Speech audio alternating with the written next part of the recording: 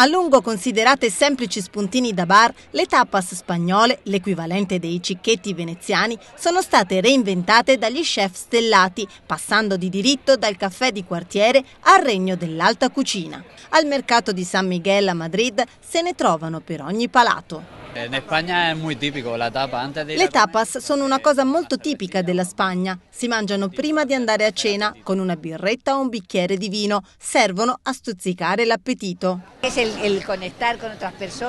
un modo per socializzare con le altre persone, un modo per parlare, per chiacchierare. Le tapas risalgono al Medioevo. Al tempo si trattava di fettine di pane e companatico che venivano usate per coprire tazze e boccali in cui si serviva vino. Negli ultimi 15 anni queste tartine hanno subito un'evoluzione incredibile, con i più grandi chef spagnoli che le hanno praticamente reinventate e alcuni di loro hanno aperto direttamente dei tapas restaurant, sposando la buona cucina con lo street food. Sergi Arola, chef con due stelle Michelin.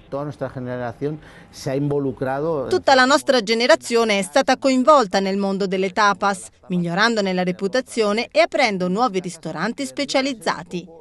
La città di Valladolid, nel nord-ovest della Spagna, ospita perfino una gara internazionale di tapas. Le scuole di cucina invece offrono workshop di tapas creative per insegnare ai clienti come prepararsele a casa. Secondo lo chef Arola, tuttavia, bisogna stare attenti ai rischi perché se cominciamo a servire tapas nei fast food si finisce per venire screditati.